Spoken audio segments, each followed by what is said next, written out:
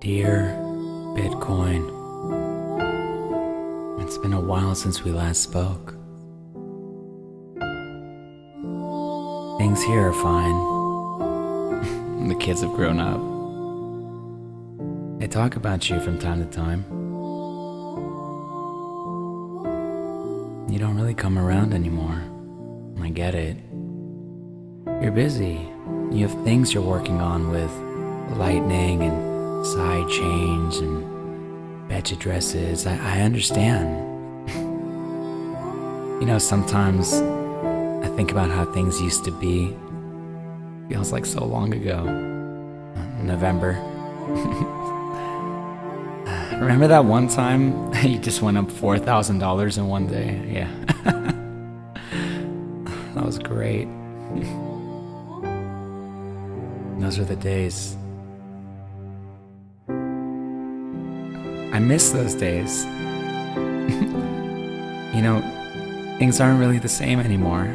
I mean, the world's gotten complicated. You have all these people running around trying to do all these types of things. It's you know, it's not as simple as when we were younger.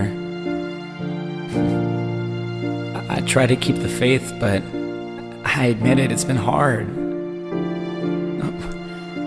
Why don't you come around anymore? I, hmm.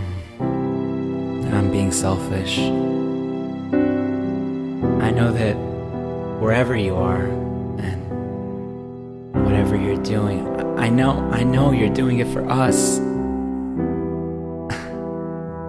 I hope this message gets to you.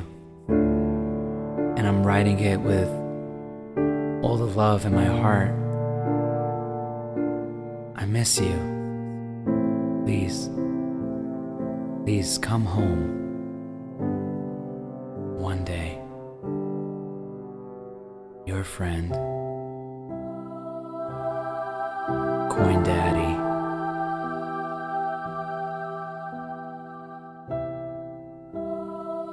P.S. When you come back, can you bring a pack of cigarettes?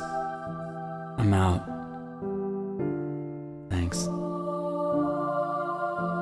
For real this time. Goodbye, your friend, Coin Daddy.